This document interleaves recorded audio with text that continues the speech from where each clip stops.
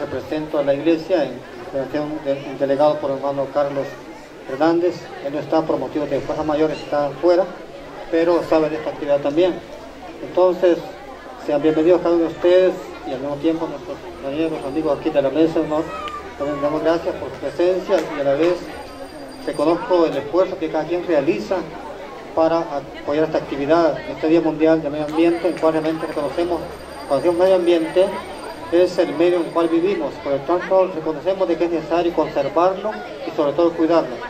Realmente de que es muy importante porque todo lo que ustedes pueden apreciar es el medio en el cual vivimos, por lo tanto es nuestra casa.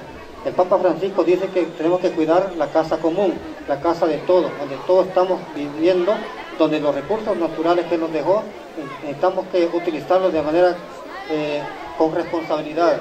Y todo realmente cuando tocamos realmente estos los árboles, dice la palabra de Dios que sin su poder ni la hoja de un árbol se mueve. Es decir, que todo lo que se mueve es porque Dios le da la vida. Por lo tanto, y si por momento estamos destruyendo nuestra naturaleza, estamos destruyendo la vida. Hagámonos una idea, que se desaparezcan todos los árboles, ¿qué pasaría con nosotros?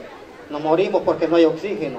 Y realmente últimamente se reconoce de que nuestra tierra está quedando cada vez más sin su cobertura. Entonces, ¿qué pasará? Producto de eso, realmente el cambio climático que es drástico para todos y de una u otra manera vamos a sufrir.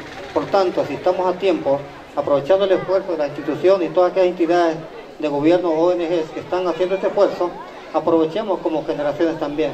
Aprovechemos e impulsando y caminando, empujando este proyecto de forestación.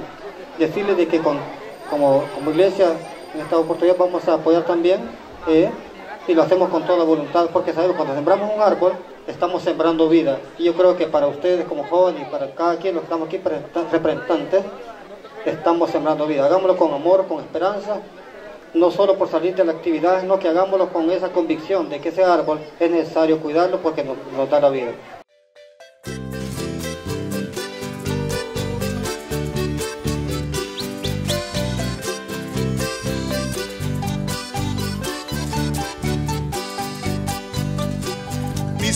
Producen sembrando la tierra. Si todos sembramos, no habrá más. Mis, mis manos producen sembrando la tierra. Si todos sembramos, no habrá más miseria. Trabajando en el campo es más digna la vida. Sembrando en el surco la nueva semilla.